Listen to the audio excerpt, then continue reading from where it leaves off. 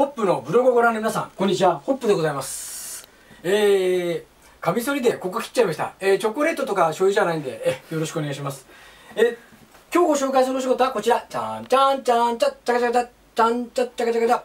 革ジャンの寸法を直しました。袖を長かったので10センチお客様が詰めてくれということで、10センチ詰めました。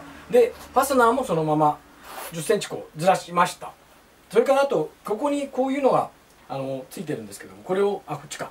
取ってほしいということで取ってました。袖爪とそれからこちらのですね修理をした修理しました、えーこれでまた来ていただけると思います。どうしてもあの外国のものですとここが長かったりするのでこういった修理やってます。えー、革ジャンの直しはぜひ当店によろしくお願いします。ということで革ジャンの寸法直ししたホップでした。またねアーフィーダーゼンバイビー。